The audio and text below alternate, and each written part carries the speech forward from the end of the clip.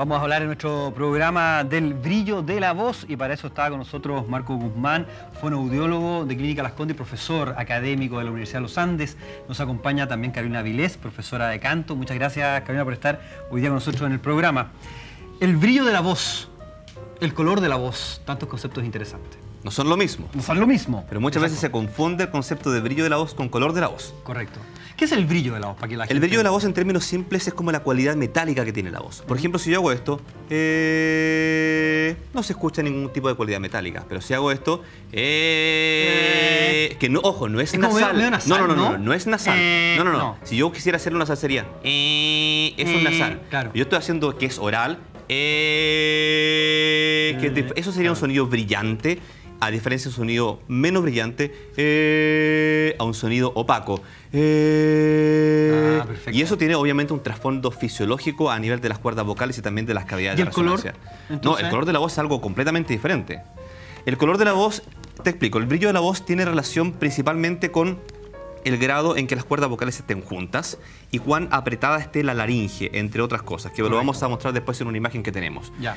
Eso es el brillo, depende de eso el brillo. Sin embargo, el color de la voz no tiene nada que ver con las cuerdas vocales, absolutamente nada que ver. El color de la voz simplemente se refiere a cuán largo es el tracto vocal o cuán ancho es el tracto vocal. Entonces, ¿el color de la voz es una característica propia de cada cantante? No, tanto el brillo de la voz como el color de la voz son características propias de cada cantante que se pueden ir variando por razones estilísticas o interpretativas.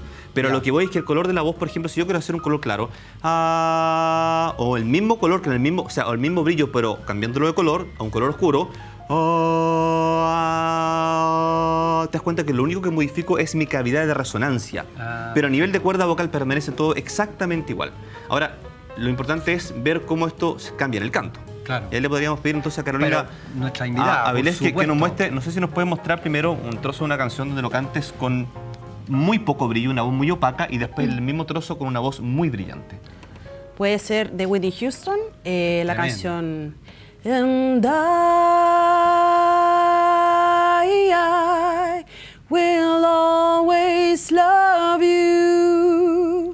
Pues con más brillo.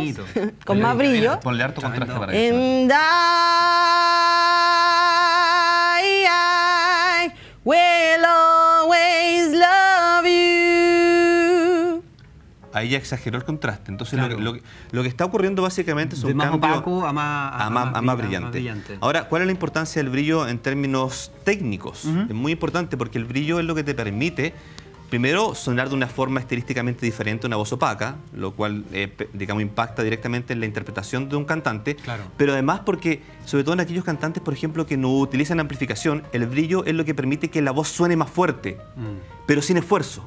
Ah, correcto. Entonces el brillo es una herramienta que te ayuda a mantener tus cuerdas vocales sanas, y que pueda sonar más fuerte, que pueda sonar incluso con un, toque mucho más dramático desde el punto de vista interpretativo, pero no, no dañando las cuerdas vocales. Uno, a uno le toca ver cantantes ¿eh? que, utilizan mucho esto en base a lo que tú estás diciendo y que por ejemplo están en una gira de concierto. La única forma que tendrían para poder sobrevivir de repente a tres jornadas que son maratónicas y de repente ir a otro país y seguir cantando es justamente la utilización de la voz en base a estos conceptos. Exactamente. Si no, la disfonía que tendrías el problema de cuerdas vocales no podría seguir eh, cantando, ¿no? hay una, imagen que podríamos mostrar, una imagen de tomografía computada. Ahí si ustedes se dan cuenta, eh, existe abajo, a nivel más abajo están las cuerdas vocales y hay literalmente un tubo. No sé si se dan cuenta, abajo hay un tubo que va hacia arriba, hacia la faringe. Ese tubo se llama tubo epilaringio, que es el tubo que está sobre las cuerdas vocales. Y ese tubo, cuando se aprieta o se contrae, es justamente uno de los principales encargados de aumentar el brillo de la voz. O sea, cuando ese tubo se estrecha, la voz suena más... Eh, más brillante, cuando yo lo amplío, eh, menos brillante. Correcto. Pero también la faringe, la, todo ese digamos, espacio negro que va hacia arriba, hacia la lengua, también contribuye cuando se modifica con la cantidad de brillo de la voz. Cuando tú estrechas la faringe, también se ha visto a través de diferentes estudios que el brillo de la voz aumente. Cuando tú la ensanchas, el brillo de la voz también tiende a disminuir. A disminuir, perfecto. Pero, sí, no, pero también hay otro nivel que tiene que ver con las cuerdas vocales, que están abajo, que las cuerdas vocales también contribuyen al brillo de la voz. Cuando tú juntas más las cuerdas vocales, lo que se llama técnicamente mayor aducción, también la voz se percibe más brillante. Mientras cuando tú separas un poco más las cuerdas vocales, la voz se percibe más opaca. Por eso, en, el, ejemplo que dio Carolina, cuando ella cantó, canta una parte con voz opaca. Break my heart. Se escucha aire. ¿Te das cuenta? Ahora cántalo con brillo. break my heart. Carolina, ahí lo que estás, estás juntando más las la cuerdas cuerda vocal, entre otras cosas, y probablemente también estrechando el tubo epilaringio. Entonces el brillo depende tanto de lo que está haciendo a nivel de las cuerdas vocales, cuando lo, lo puso más opaco, la voz se escuchaba con un poco de aire, ¿te diste cuenta? Claro, sí, sí, exacto. Entonces el brillo de la voz también tiene que ver con cuán juntas se encuentran las cuerdas vocales. Repitamos, ¿Podemos repetir el ejemplo para ver el contraste? Ya, dale, dale, Carolina. Break. Va, me cambié. no te preocupes. Cámbialo, opaco, opaco.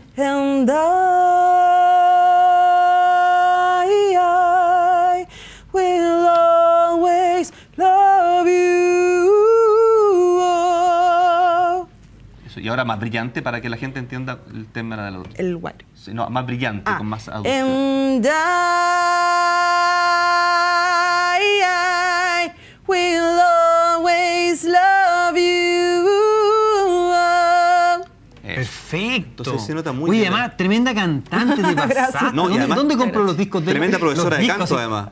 pero impresionante, felicito, sí, Muchas gracias. Muy bonito, muy bonito. Espérate, estamos hablando de opaco, más bien, pero hablamos de color también. Ya, también le podemos pedir a Carolina que nos dé algunos ejemplos. Vamos a pedirle que mantenga el mismo brillo.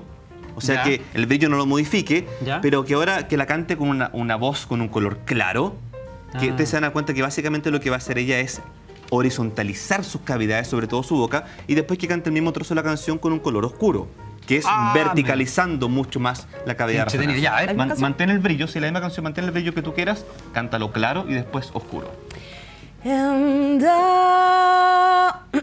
Perdón. No, no te preocupes.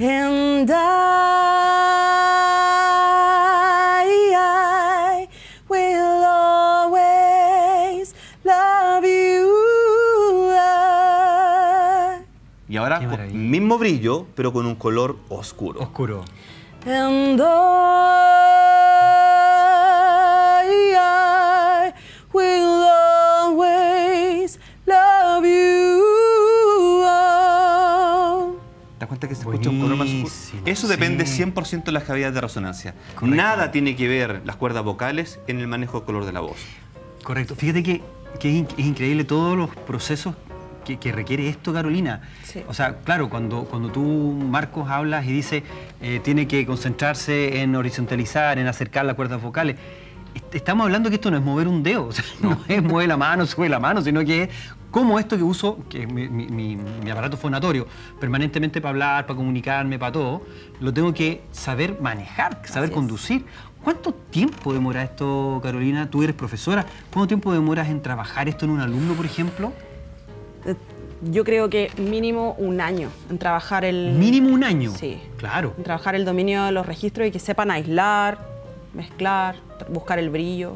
Pero, pero es un tema que imagino de un año, pero no, no se acaba. O sea, es un tema de, de, Marco, de permanente entrenamiento y... O sea, ¿cuánto dura la carrera de canto? La carrera de canto, dura cinco años, una licenciatura, donde uno, claro, ocupa, aprende a hacer más cosas, pero en realidad técnicamente, claro, la madurez está en cinco años. Yo digo uno porque en el fondo en un año yo he podido ver que, los alumnos pueden distinguir entre sus registros, entre el brillo, el color, pero, pero es mucho más. Yo, tengo intenciones ocultas en esta pregunta, porque yo me gustaría, a mí me gustaría poder llegar a... A ver, no quiero recitar en el estudio. Eh, a mí me gustaría llegar a cantar bien. Siempre he dicho, una canción que yo pueda sacar, una, y que cante bonito, que no se salga el gallito, ¿cachai? Que no me desafine un tipo como yo podría llegar a cantar. y la pregunta es para tanta gente. ¿Se puede? Porque muchas personas dicen, oye, no, si yo para cantar ni en la ducha, ¿no es cierto? O va a un karaoke y canta, desafinado, ¡uh! la gente se va al karaoke. ¿Existe la posibilidad de una persona? Porque uno mucho dice, no tengo talento para cantar. ¿Se puede totalmente, trabajar? Totalmente. Tengo esperanza. No tengo ninguna duda de que podrías cantar bien. Sí. ¿En serio, Carolina? Pasa que el canto es una técnica. ¿Ah? Ahora, nadie te puede asegurar que puede llegar a ser un tremendo cantante. Exacto. Pero de que pueden mejorar, pueden mejorar. Ay, pero le ponemos mezcla, hacemos cosas como... El, el, perilleo. el perilleo. El Termino cantando perfecto. Oye, qué entretenido segmento. Muchísimas gracias por estar hoy día, Marco, eh, por este concepto de iniciar. Y queremos seguir trabajando en el tema de la voz desde, desde este ámbito, de un ámbito tan entretenido para que usted aprenda y conozca más, no solamente eh, de la salud, ¿no es cierto?, pero la salud aplicada, la anatomía aplicada, aplicada a algo tan hermoso y tan lindo como el canto. Canto. Carolina, antes de irnos, obviamente despedir el, segmento, que nos den los datos para la gente que está interesada. Yo ya noté tus datos, así que iba a inscribir.